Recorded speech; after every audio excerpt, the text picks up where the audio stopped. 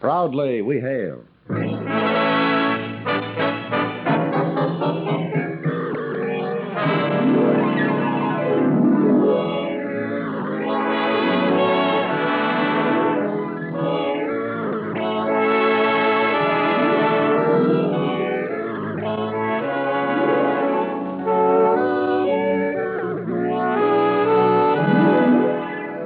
From New York City, where the American stage begins, here is another program with a cast of outstanding players. Public service time has been made available by this station to bring you this story as proudly we hail the United States Army.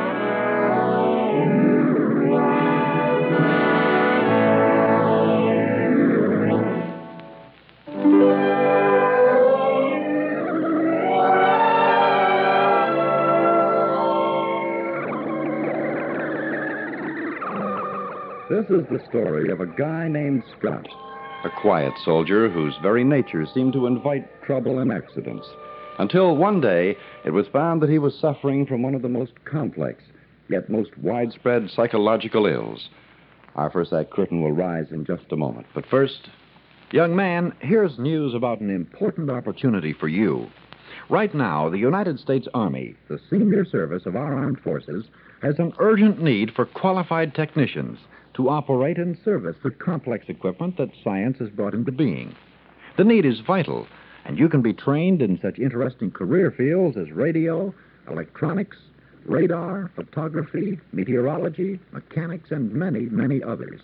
Yes, indeed. Here's your chance to acquire a skill that will be of value to your country and help you later in civilian life, too. For full details, visit the recruiting sergeant at your nearest recruiting station today. And now your United States Army presents the Proudly We Hail production, A Guy Named Scott.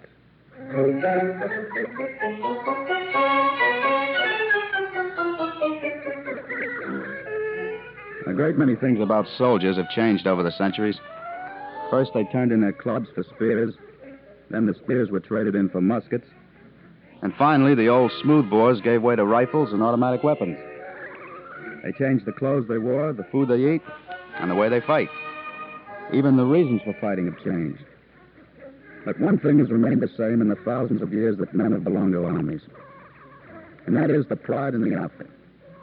Whether a man fought in a Greek phalanx, a Roman legion, a medieval free company, or Napoleon's grenadiers, His squad, his company, his regiment, his division was the best in the world.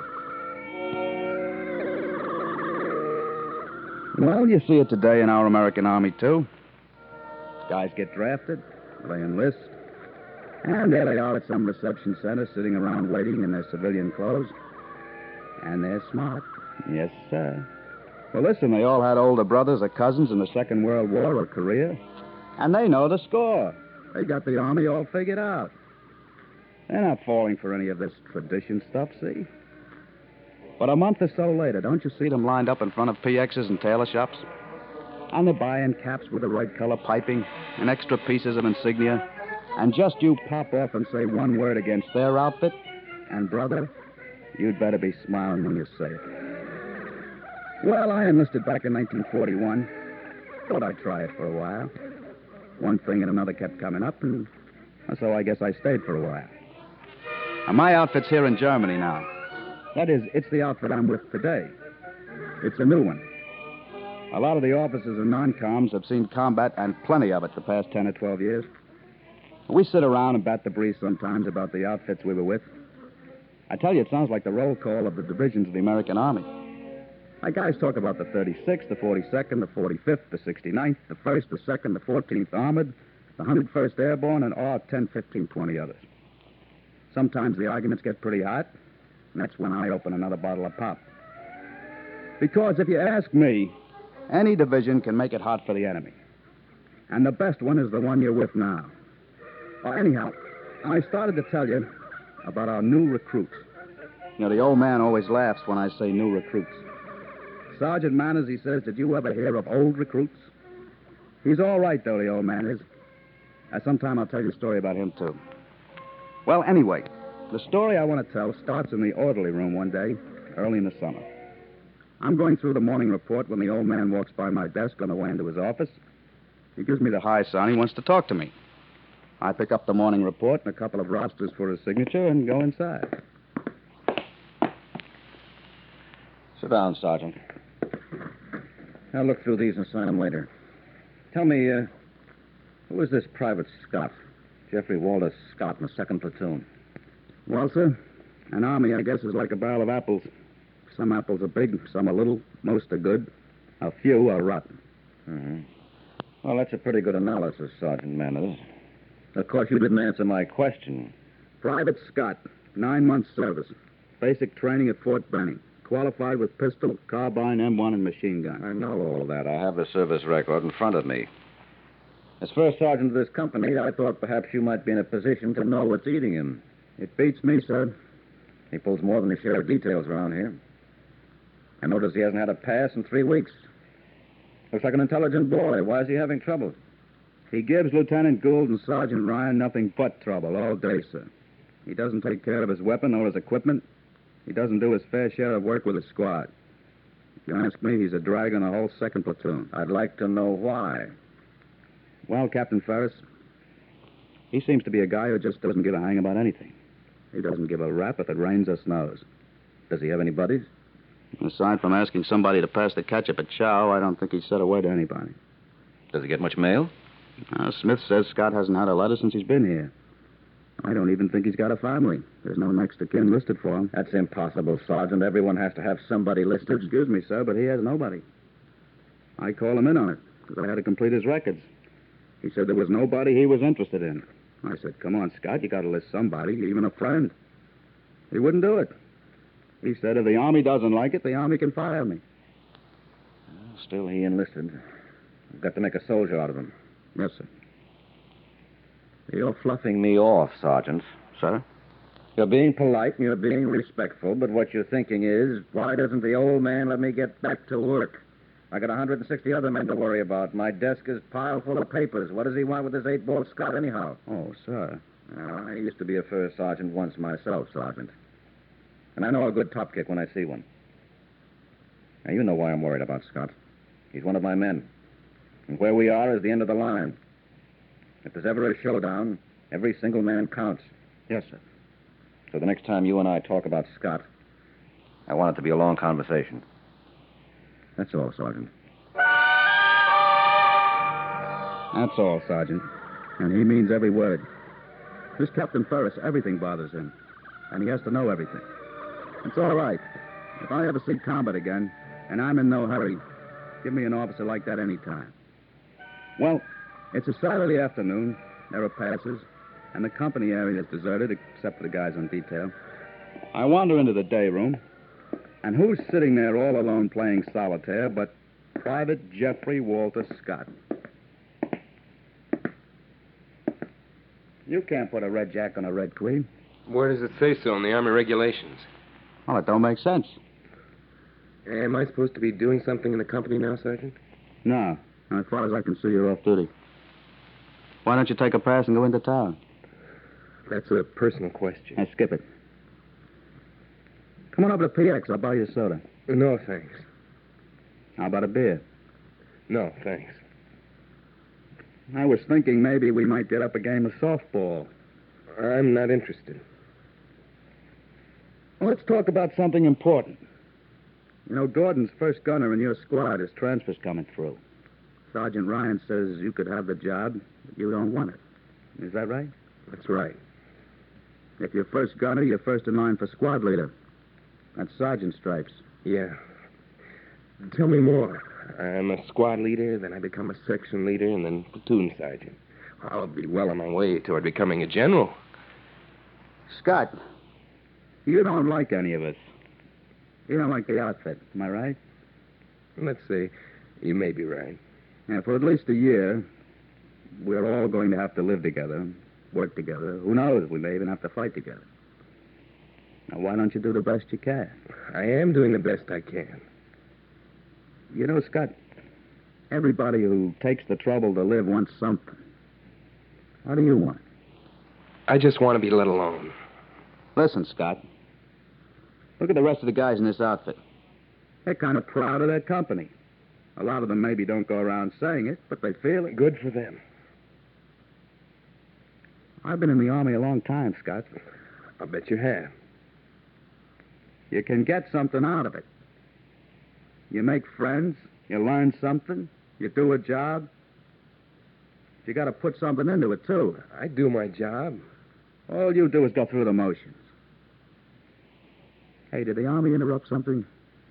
Were you doing anything important on the outside? That's a personal question. Well, you enlisted. What did you expect to find here? What were you looking for? I looked at a poster and it said, Your country needs men. Yeah? Well, where'd you read the poster? Broadway and 42nd Street, New York. What were you doing in New York? I always wanted to see the Statue of Liberty. No, I mean, were you working there? According to your records, you were born in Tulsa, Oklahoma. Well, I was born there. Nobody said I had to stay there. You stayed there a long time. You went to high school, state college. Is it all right if I go back to the barracks, Sergeant? I'd like to do a little bunk fatigue. Nice talking to you, Scott. So you talk to Scott, and what do you learn? Nothing. What's biting him? What's bothering him? Who knows? Oh, well, I, I don't want you to think that this, that's all I had to worry about. I had more to worry about than Scott. The year's big war games were coming up.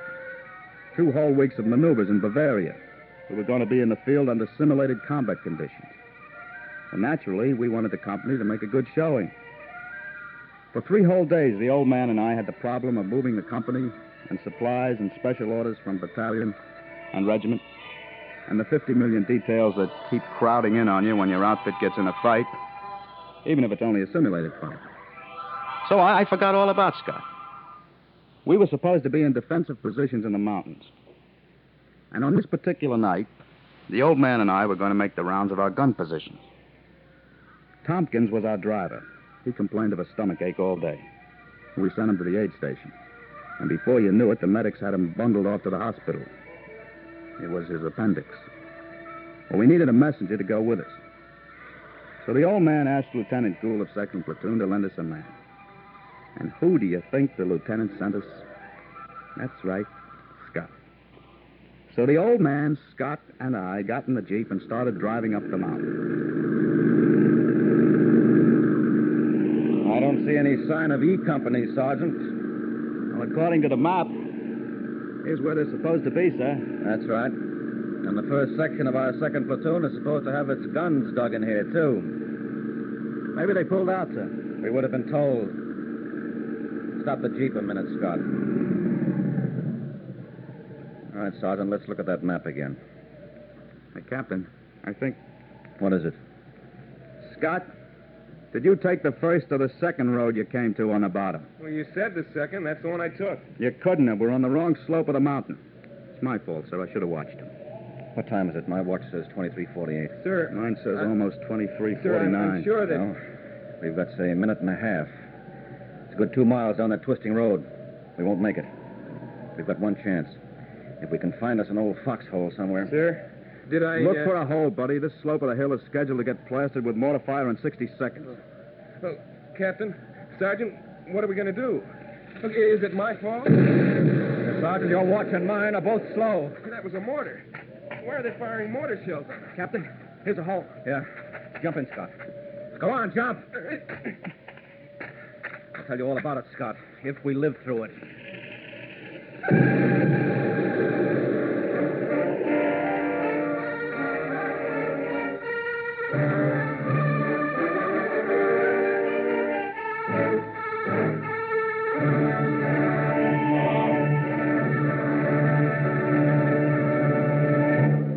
Listening to the Proudly We Hail production, A Guy Named Scott.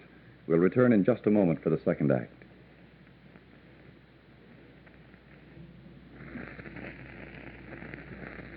If you're a young lady in the clerical or business world and you want to get a job where you can really get ahead, the Women's Army Corps will offer you the best chances for advancement. You see, as a WAC, the skill that you've already gained as a stenographer, secretary, budget clerk, or auditor will automatically place you in a skilled group of young women in the service. You'll find that your experience will mean a lot to you in getting ahead in this outstanding group of America's foremost women. You'll find opportunity is waiting for you when you step inside your local United States Army recruiting station.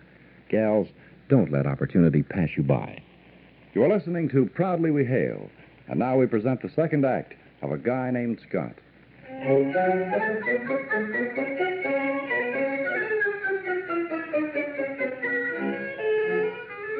High on a Bavarian mountainside during a war game, three American soldiers crouch in a shallow hole in the ground. Mortar shells are exploding all around them. One of the men is Captain Ferris, CO of H Company. The second is First Sergeant Manners. The third is Private Scott. They have no business being where they are. They happen to be there because Private Scott drove up the wrong road. But Sergeant Manners is telling the story. Sure, it was my fault. I should have noticed he took the wrong road. But I told him. I remember, I told him.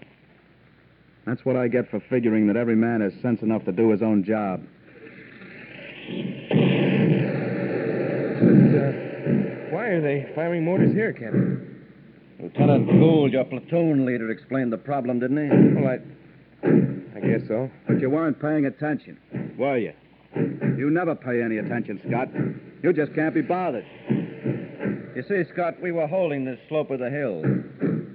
And it was decided that the enemy could drive us off by superior numbers. So we pulled back around the other slope. Now our mortars are lobbing shells over here. It's very simple. That's why in our army we give our men the whole picture all the time so they know what they're doing. Will I get court-martialed for this, Captain Ferris? You can't court martial a man for being stupid. Just pray that one of those shells doesn't find its way into the hole with us. Wish we didn't have all these trees around us, Captain. Yeah, that's what's got me worried, too. How long have they been firing now, sir? About ten minutes, I'd say. That barrage was supposed to last an hour. Can't we stop them somehow, sir? Can't we let them know? Get hold of yourself, Scott. There isn't a thing we can do about it. We'll either be lucky or we won't. And I will be court-martialed, won't I? Be in the newspapers, and my old man. He'll read about it. Now, this is no time to worry about your old man. Yeah, we might just as well worry about his old man.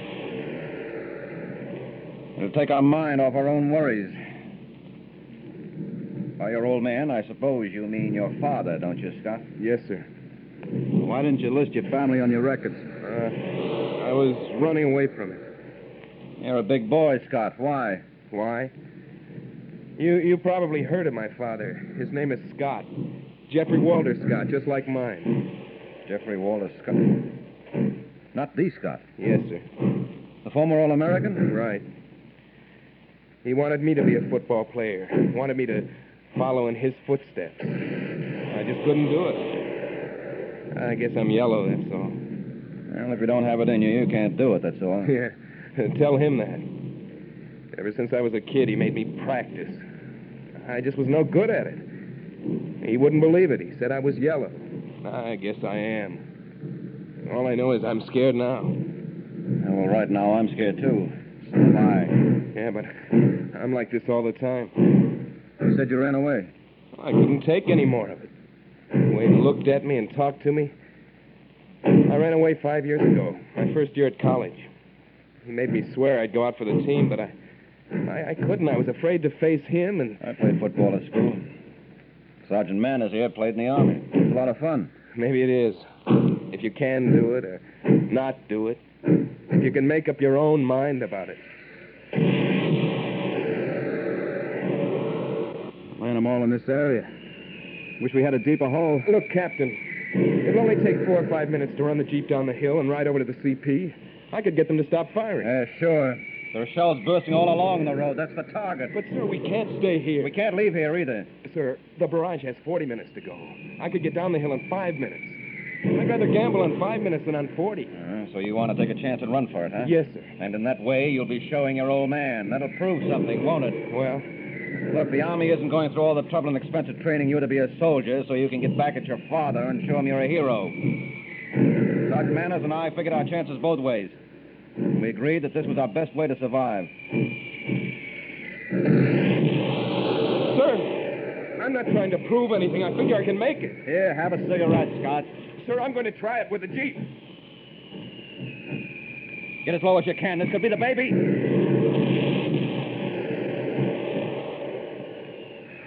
Captain. Captain? Man, for a second I thought. Hey, Scott. Scott! He's gone. Crazy kid. Scott, come back here. He can't hear you now, sir. He's either in that Jeep or he didn't make it. I didn't hear you give him a direct order not to go, sir. Well, I was going to. Hey, that mortar platoon of ours can really lay him in, can't they, sir? Think he could make it down the hill? Remember how I went over the map with the third platoon? I made a big issue of the road that leads down the mountain. If we ever have to leave these positions, I said, if we ever have to fire defensively, make sure you plaster this road from top to bottom. Well, in a way, it's good to know that the third platoon knows how to carry out orders.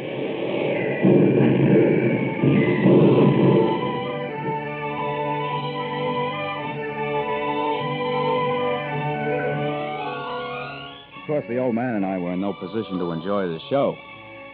Oh, that's a word I learned from some British soldiers. Show. They call everything a show. In a way, it is a show. Our mortars were dropping shells up and down the face of the mountain in a regular pattern. It seemed they were searching every square inch of ground. It's it's interesting to watch from a distance. I mean, a nice, long, far, safe distance. Then all of a sudden, there was no more firing. I look at my watch. The barrage still had at least a half an hour to go. Did they run out of ammunition? Or did Scott somehow get through? We didn't have to wait too long for the answer. As off in the distance, we heard the sound of a Jeep working its way up the mountain. We both jumped up out of the hole and ran toward the road. There was enough moonlight to see that the road had caught it bad. Every couple of yards, it seemed the ground was torn up. Scott was in the Jeep. He stopped when he saw us, backed into a clearing, and turned around. He waited for us to come to him. Hey, that crazy. Manners, don't say a word to him. Yes, sir.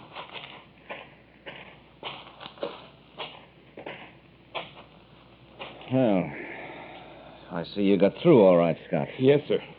How was it? I don't know, sir. I just pushed the gas pedal down to the floorboard and drove. What did you say? Well, I told Lieutenant Davis I drove you up this side by mistake. He better hold the mortar fire. He did. I see. Well, let's get back. Uh, sir, is it all right if I ask you or Sergeant Manners to drive? Why, what's the matter, Scott? Well, I, I don't. I don't feel too well. Now, Scott, get hold of him. Could he have been hit? Yeah, he's hit all right. But not by a mortar shell. Our hero has fainted.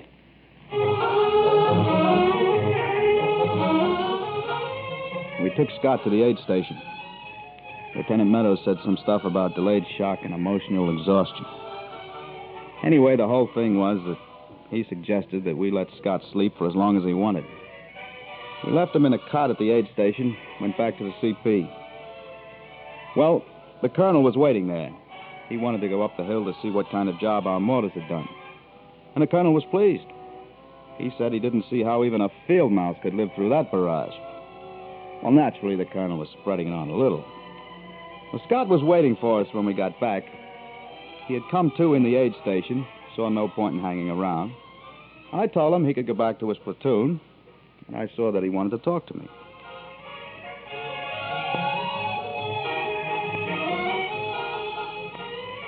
Uh, Sergeant, you, you know what you were asking me a couple of weeks ago about being first gunner in the squad? Yeah? Well, uh, I was wondering if you could talk to Sergeant Ryan. Sure. How do you feel? Feel pretty good. I took the liberty of doing something on your record, Scott. I wrote down your father's name for next of kin. Oh, yeah? I mean, it's none of my business, naturally. I mean, you can have it taken off if you like. Well, I'll, I'll think about it. Oh, something else that's none of my business. Why don't you write him a letter? I'll think about that, too. Uh, we never got a chance for saying thanks for going down the hill. You did a good job. Yeah. I, I suppose I did. You got a cigarette, Sergeant? Yeah, yeah. Thanks. Good job. You know, I'm 22 years old. This is the first time in my life anybody's ever said to me, You did a good job. Well, maybe you never did one before. Yeah. Yeah, I, I suppose that's possible.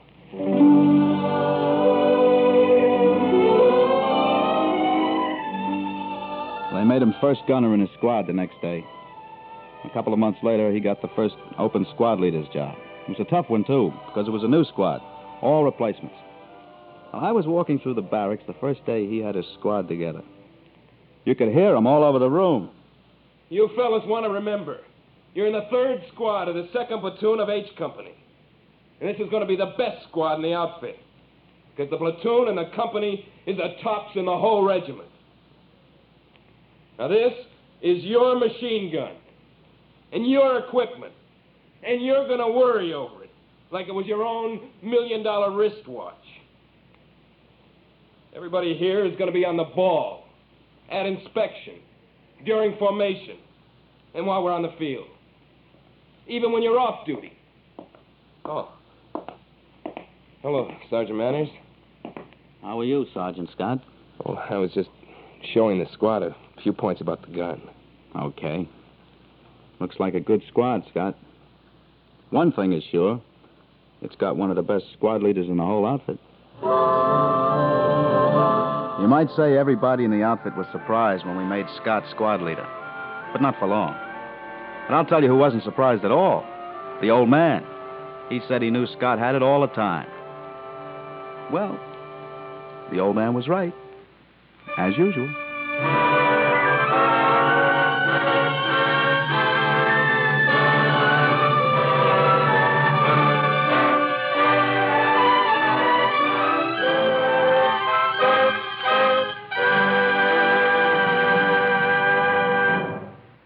Attention, all high school graduates.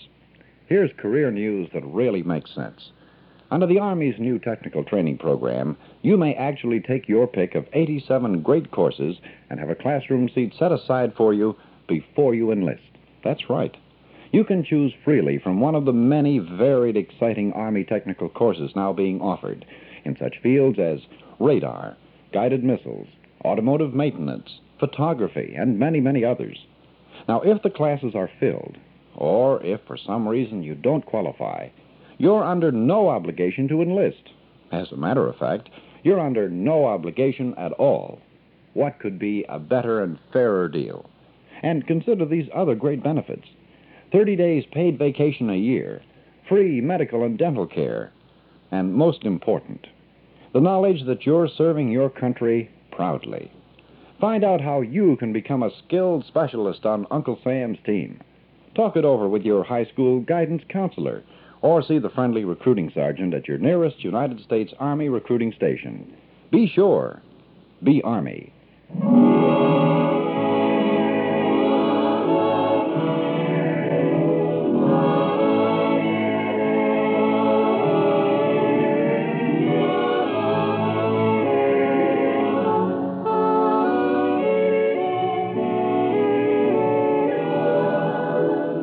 This has been another program on Proudly We Hail, presented transcribed in cooperation with this station. Proudly We Hail is produced by the Recruiting Publicity Center in New York for the United States Army Recruiting Service. This is Mark Hamilton speaking, inviting you to tune in this same station next week for another interesting story on Proudly We Hail.